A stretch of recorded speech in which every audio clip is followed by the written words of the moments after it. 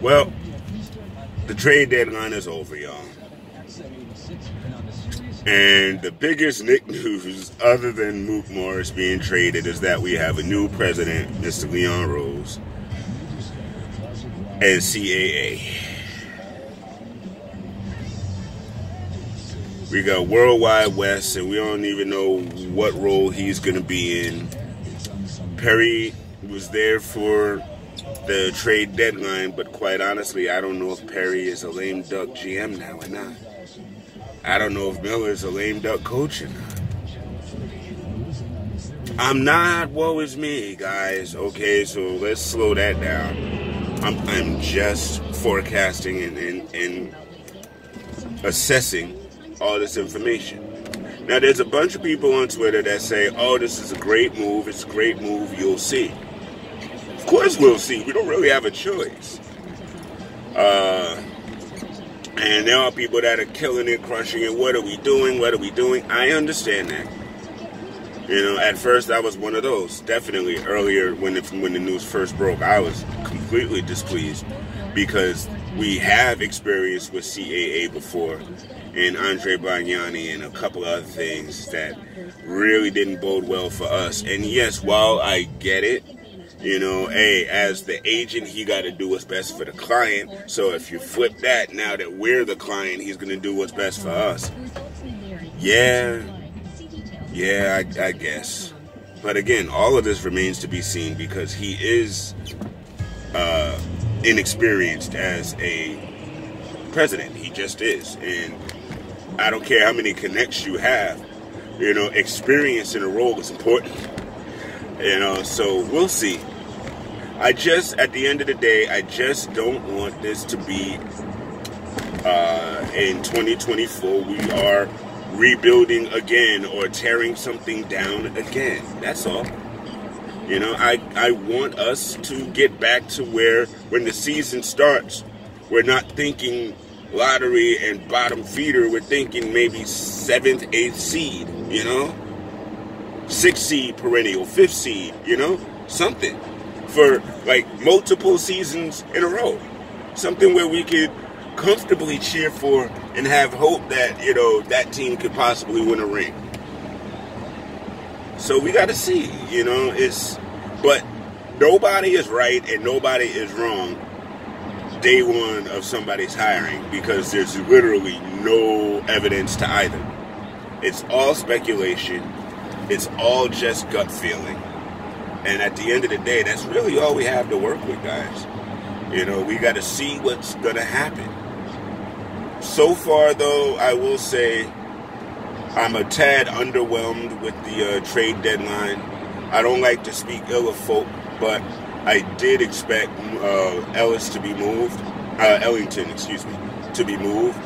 Uh, Bullock, I thought might end up being in a trade package, but not necessarily him on Dolo because, quite honestly, his his contract is is beneficial and he's been solid. So, you know, to me, we can keep him.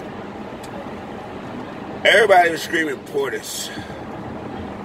To be perfectly honest with you, and no disrespect, Bobby, but I didn't see a trade package for you. I just didn't. You know, backup center. You know what I mean? And the defense is okay. You shoot the three sometimes, and that's cool. But I just didn't see anybody clamoring for, for that position during this trade deadline. So maybe Houston, but they even traded Jordan Bell a second time, so they literally don't want a center other than Tyson Chandler on their roster. so, yeah, I just didn't see a, a big man market out there for you right now. And that Andre Drummond trade was kind of ridiculous for both. I, I don't know how that moves the needle for anybody, Cleveland or Detroit, to be perfectly honest with you. But I'm well. Uh, Clips, good job. You got my main man Mook, and I actually think if everything goes well and chemistry goes well, that might actually put y'all over the top. Just might. Just might. Not sure. Not sure. Because, listen, the Lakers still tough. Uh, if they do get Darren Collison, uh, fine. Working out JR, I don't think it's going to move that needle much. It'll it'll add some. You know, it's like LeBron needs a Lance Stephenson type with him. He needs a knucklehead in the locker room. I don't know why, but that's just my vibe off that. Because why are you clamoring for J.R. Smith right now? I, I, don't know. But it is what it is. Uh, so all in all, it was an interesting uh, trade deadline. I don't really know what Andrew Wiggins does for Golden State because at the end of the day, you don't fix NBA players. You know, you don't fix them. You know, they they kind of fix themselves, or they are who they are. And I don't know what's going on with Andrew Wiggins, but I mean that dude is a walking, walking potential with no commitment for follow through.